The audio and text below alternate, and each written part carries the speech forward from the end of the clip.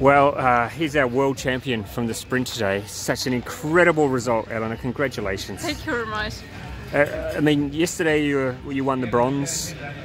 What was it like recovering from that to do the sprint today? Uh, so me and my husband, we did what we all we can. Of course, I was like taking the hot shower, then cold shower, hot shower, cold shower, then massage uh, after the race in the evening, like massage. Yeah. Uh, in the morning, in the morning I had a, a new warm up, like because you always, you know, the the muscles got. Um, so tight. Tight, yes, mm -hmm. after the long distance, and you should do something that yeah, yeah. make it, them soften.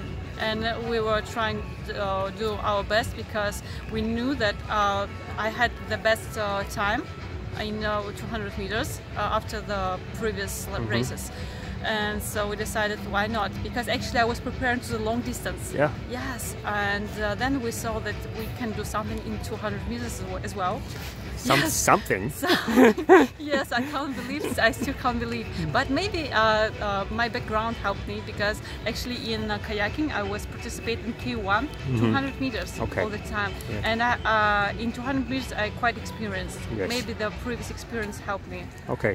So today, when you went out on the water, did you feel ready? Did you feel good or not? I feel uh, more or less okay, yeah. but still, uh, after the wavy conditions yesterday, my legs uh, really tough. Yeah. And it's like I even can't like squat. Squash, yeah, yes, a little yeah, bit. But with uh, the rest, it's more or less hmm. okay. Yeah. Now, talk me through the race. It seemed that the big change happened when you changed hands. You, you swapped hands during the race, and that's when you started to really put yeah, some speed uh, on. I have a problem. No, no, it's not a problem, of course, but the wind uh, gets a little bit uh, from the left side. Mm -hmm. My uh, side is also left, and it's quite difficult uh, from was from the start because my nose was uh, like turning a little bit there. Yeah. Because I'm pedaling from this yep. side, yep. Yes, and my, the wind goes there, there, there, and then after I changed my side from like not so strong yeah. but very convenient. Yes. Uh, the speed went uh, faster. Yeah, so it was your less your less favoured side. Yeah. But you you will still be able to go faster. Yes, yes, yeah. yes, yes. Uh, my, my two sides are, are both okay, but mm -hmm. of course uh, the I, I prefer to do start from the left side. Yeah. But left side in this kind of conditions like left wind, left yep. side, it's not very good.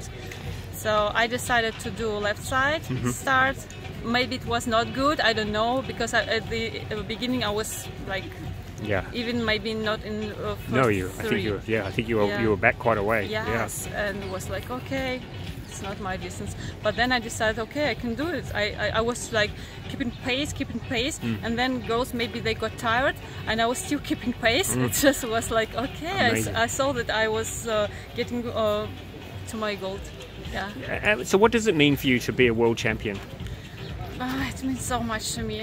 I, uh, so um, before I was uh, usually uh, in my background in kayaking, mm -hmm. the second, third in European championships and world championships, and never gold world championships medal. Never, like just in 20 years, you know. And yesterday I thought maybe it's just the the way that I should finish, you know, mm-hmm. because uh, uh, yes I thought that maybe this is uh, how to say it. This is your fate. Yes, yeah. maybe my never fate. to win a gold and medal. Yes, yeah. because actually, uh, I hope that I deserve it. Yeah. Hopefully. Yeah. But so today is such a big breakthrough for you now because now you have a gold, you have yeah. the world championship. Yeah. Uh, it's the. I still want to fight. It's like uh, because uh, I'm an athlete, and of course I have to fight on the distances that I prepared. Mm. And I had the bronze yesterday. Yeah. Today it's the gold, and the technical race it's quite tricky yeah, distance yeah. because mm. this these seven buoys. Yeah. But I would do my best. And this is your future now, you think? Stand up paddling? This is what you want to do? Uh, let's see. Because I have a family, but also I really in love with this kind of sport. Mm. Yeah. Really. Because, and uh, so let's see. and the World Championships here have been good? You've enjoyed it? The, yes, I enjoyed very much. I want to say thank you to International Canoe Federation for this uh, cool event.